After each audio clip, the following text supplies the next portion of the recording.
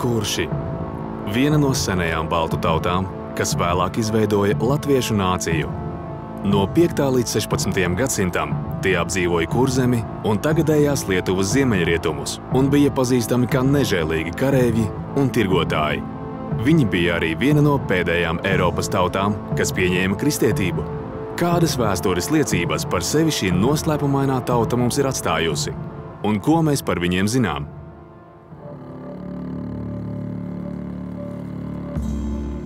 Viņi ir jūras cilvēki, viņi piedalās jūras braucienos, viņi nes uz turieni, uz kuriem viņi dodas savu kultūru, savu materiālo kultūru, no turienes arī ved atpakaļ. Kurš tomēr laikam asociējās ar nu, teikt, vienu no karavīgākajām šīm baltu ciltīm. Faktiski par kuršiem vislabākās liecības ir atstājuši kuršu pretinieki.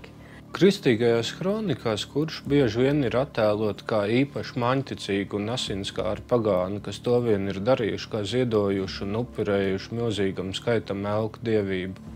Zināms, priekšstats arheologiem pētniekiem ir izveidojies, kāda tie kurši ir bijuši. Nu, salīdzinoši gara auguma, vidēji tāda pārlēka plata seja, nu, tipisks Ziemeļa Eiropas tāds iedzīvotāji nešaubīgi ir, ir sirojuši un uh, bijuši gan uh, Sāmsalā, gan arī cīnījušies nu, teiksim, pie Gotlandes krastiem un arī, arī Zviedrijā.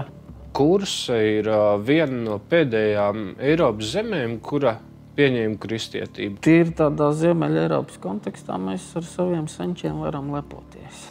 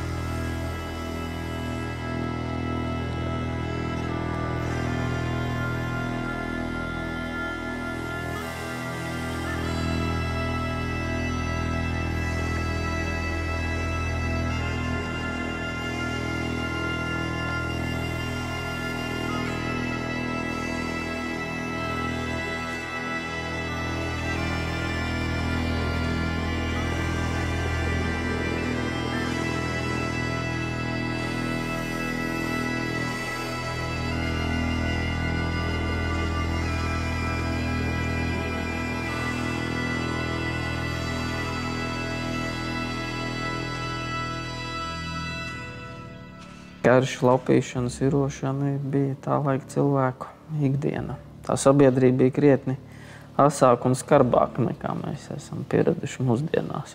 9. gadsimta svētā Anskara kronikā rakstīts, Dāņi savāca daudz kuģu un brauca uz kuršu dzimto zemi, gribēdami iegūt viņu mantu par laupījumu, kā arī viņus pašus pakļaut sev. Kuršu ķēniņa valstī bija piecas pilsētas. Tautas, kas tajās mita, izzinājušas par viņu ierašanos un sapulcējušās vienopus, sāka izrādīt vīrišķīgu pretestību un aizsargāties. Izcīnot uzvaru, tās kaujā noguldīja pusi no dāņu tautas un sagūstīja arī pusi no viņu kuģiem, iegūdamas daudz zelta, sudraba un cita kara laupījuma. Nu, mēs zinām no rakstītiem avotiem, ka kurš ir gan Dānijā, gan Skandināvijas, Skandināvijas cietzemē. Jādomā, ka viņi, nu, ja ir prūši piedalās austrumu ceļā, tātad Volga, tātad tas virziens, jādomā, kurš arī tur ir. Jo ir jau arī pretējais arābu monētas, pie grobiņas. Tā, tās ir kaut kādā veidā uz turieni atvests. Arī Zviedrijā ir uh, kuršu cilmes, es teiktu, varbūt atradumi arī sastopam Dānijā, uh, Polijas ziemeļu piekrastē, bijusi tātad Prūsijas teritorijā. Sirojumos tur dažādi, tur citreiz pat viens kuģis varēja piedalīties, nu, 30, 40 vīri. Nu, ja lielāks tas karagājiens, tad 200, 300 vīri arī vikingi reti, kad rīkoja lielas šīs akcijas. Parasti jau tas bija konkrēts dzimtas cilts vai te, nu, tāds, tāds rīkots pasākums. Tur var manīt, kad aptrūkst tās finansu resursi vai vajag pierādīt, pierādīt ka es cienīgs būt vadonis, tad uzrīko kādu sirojumu.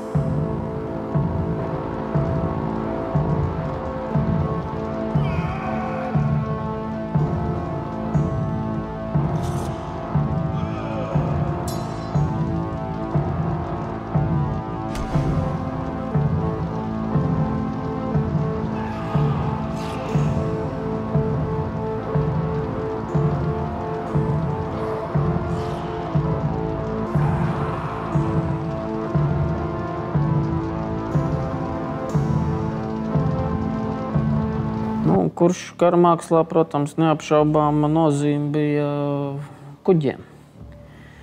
Ja mēs palasām skandināvu sirojumu aprakstus, skandināvu kronikas un sāgas par to, ko kurš darīja viņa teritorijās, tad ir pilnīgi skaidrs, ka bez kuģa viņi karot Gotlandē vai citu vietu nekādu nevarēja. Kuģis bija tas, kas šos karavīrus nogādāja kara darbības vietā.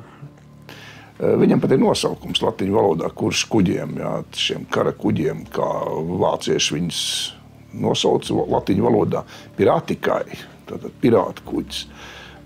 Jā, tā ir liela laiva, tā ir aerolaiva, droši vien arī ar būru iespējām. Nu, Būra aera nozīmē to, ka viņi manevrēt spējīgi dažādos laika apstākļos. nu, ja ir 30 cilvēki apkalpē, kā mēs to zinām no rakstītiem avotiem, tā ir pietiekoši liela laiva. Ja viņa var nest un vest laupījumu, tad tas nozīmē, ka nu, ir pietiekoši un jauna šī laiva jūras spējīga. Tad viņa spēja, spēja būt atklātā jūrā un nu, darīt to, kas eh, komanda ko ir iecerējusi. Un tad laikā šī, šī tālie ceļojumi tā ir tāda ļoti prestiža lieta. Tas ir tie, tie labākie vīri, kas to dara. Un, un visiem gribās līdzināties tiem labākiem. Nu, kā jau vienmēr, visi, jau mēs gribam būt tie paši labākie.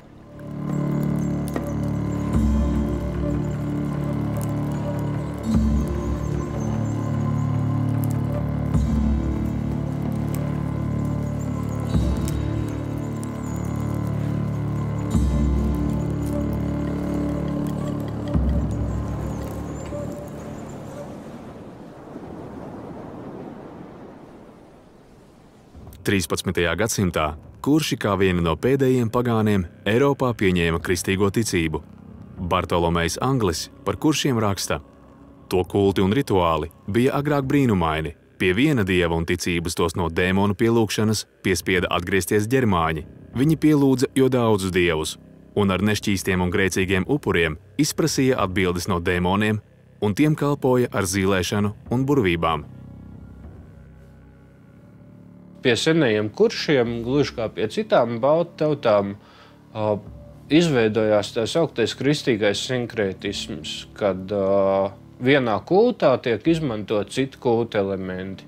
Piemēram, tikai gluži kā pagāniskiem dieviem nesti ziedojumi pie tā sauktajiem krustakmeņiem, vai arī ejot baznīcā, tika veikti, tika veikti dažādi rituāli, piemēram, pa ceļam uz baznīcu vai nokauts kājas, dodoties uz bērēm. Kurš jau vēlākos laikos, 13, 14, 15 gadsimts, 16 gadsimts, ir tas, kas varbūt nav citiem Baltiem, eh, Baltijas teritorijā, nu, Prūšie varbūt tā. Ir svētie meži, svētās biržas, mežs, biržas, tur ir varbūt atšķirība.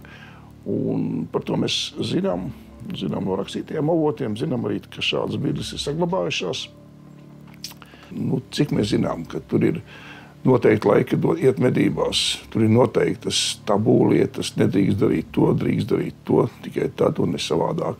E, pie ķoniņa ciema e, atradies svētais mežs, e, kur cauru gadu ķoniņi nec ko medī, nec cērt, nec bez vajadzības iet šajā mežā, bet tikai Ziemassvētkos eh, viņi rīko medības svētajā mežā. Un no samedītajiem dzīvniekiem viņi pagatavoja eh, eh, mīlestību savu mirušo senču un radinieku piemiņai. Senču godināšanas bija atkarīga dzīvo labklājība. Vēl 20. gadsimta 30. gados dažas vecas tantiņas eh, no ķoniņciem eh, esot eh, nesušas sēdienu gariņiem uz šo svēto birzi. Nav saglabājušās liecības, ka senajiem kuršiem būtu bijušas atsevišķas celtnes, kas ir domātas kulta praksēm vai rituāliem, kā ir teiksim, kristietībā baznīcas. Tā vietā domājams, ka kurš tāpat kā arī kaimiņu tautas, un tāpat kā tas saglabājās vēl daudzus vēlākos gadsimtus, veica rituāls, kas būtu saistīti ar ziedošanu, vai upurēšanu, vai kādiem citiem kontaktiem un saziņu ar garu pasauli. pie dabas objektiem. Un šādi dabas objekti, pie kuriem kurši veic savas reliģiskās prakses, varēja būt visdažādākie. Pirmkārt, jau tie bija augstāki kalni, pakalni, bet tikpat labi arī uh, ezeri, vai purvi, vai uh, jūras mala. Uh, kā arī dažādi dabā objekti, kas dabā izceļas, piemēram, īpaši lieli koki, vai noteikts birstelis, vai uh, lieli akmeņi, pie kuriem varēja veikt upurēšanu un tādā veidā sazināties ar citām pasaulēm un to pārstāvjiem. Stāvoklis krasāk mainījās 16. gadsimtā, kad uh, notika reformācija un Latvijā parādījās Lutera ticība, kuras ietvaros tika tātad, uh, veikti dievkalpojumi vietējās valodās, tad sākot arī latviešu valodā, kurā runāja kurš tā laika. Un tādā veidā kristietība nostiprinājās. Lai gan, protams, tādā pašā 16., arī 17. un 18. gadsimtā vēl bija dzīves daudzas kulta prakses, kuru izcelsme saistās ar pirmo gadu tūkstošu mūsu eiras, ja ne vēl senāku laiku.